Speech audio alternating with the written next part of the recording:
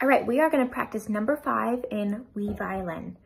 So number five is all about reviewing the things we have already learned in the book, in addition to how to place the bow on the strings and focus with a quiet center. Okay, so this video, we are going to go through the review of all of your other skills, and then we are gonna learn about how to place the bow on the string, okay? So stand up with me and we will go over our mountain posture. Rooted little birch tree. Growing to the sky, little birch tree. Looly loo, little birch tree. Looly loo, little birch tree.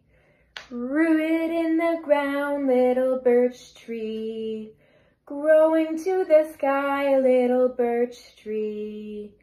Looly loo, little birch tree. Looly loo, little birch tree. Very nice. All right, number two, let's review our violin seat. So pick up your violin, find rest position, and we will sing our violin seat song. La la la la la la la la la. La la la la la la la la la. On your head slide to your ear, down to your shoulder and plop your jaw. Very nice. Next, we are going to practice our left hand, okay? So we're not gonna do the owl eyes today. We're gonna jump right to putting our violin, keeping our violin on our shoulder from our violin seat. And then you are gonna place your hand on the side of your violin like we have practiced with curled fingers. And let's go over our three little mouse.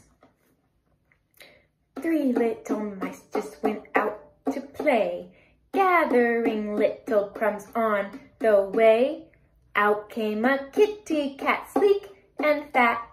Their little mouse just went running back. One more time.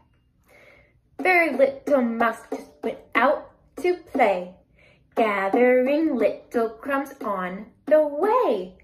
Out came a kitty cat, sleek and fat. Their little mouse just went running back. Very good bow hand. Want you to show me a bow hold, a beautiful bow hold. We're not going to sing a song for this. Show me pinky in the pinky house. Fingers down. Thumb is round. Pointer plop. Palm is soft. Very good. All right. So now that you have your bow hold set up, let's just quickly Get the violin in place. The jaw. Very good. Now, you are going to set your bow right in between the bridge and the fingerboard. So right in the middle here, okay? And you want it parallel to the bridge. Now we are gonna listen to Still, Still, Still with our bow set on the string and keep a quiet center for the whole song.